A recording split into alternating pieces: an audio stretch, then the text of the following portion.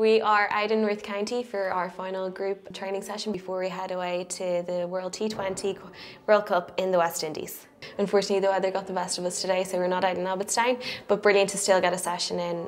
We have one week left, and whilst we have individual skill sessions this week, brilliant to get a final group session in before we leave.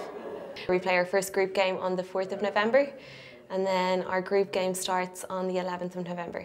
We've obviously had a lot of fixtures over the last six to ten months. We've shown that at times that we're more than capable of competing with the best.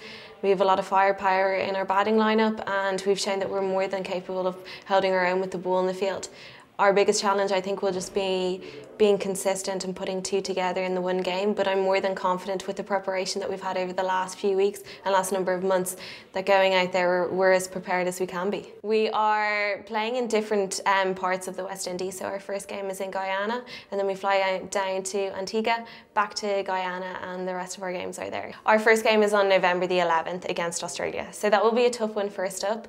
Um, but always good to face a, a tough team in the first game.